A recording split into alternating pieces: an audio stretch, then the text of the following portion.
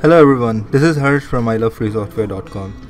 Today I'm going to talk about this new feature of WhatsApp which lets you delete sent messages.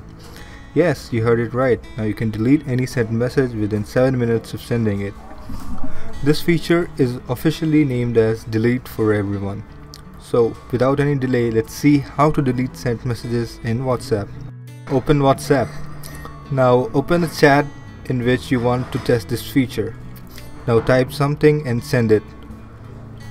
To delete this particular message you sent, all you need to do is long tap on this message to select it and then tap on delete option. Here you will see three options. Delete for me, cancel and delete for everyone. Here you have to tap on the option delete for everyone. That's it. Your sent message will be successfully deleted. Please note that this option will only be visible for a message for a time period of 7 minutes after sending. Although the recipient will not be able to see what you sent after deleting message, but will get to know that you deleted a message. Cool, isn't it? So friends, this is how you delete sent messages in WhatsApp.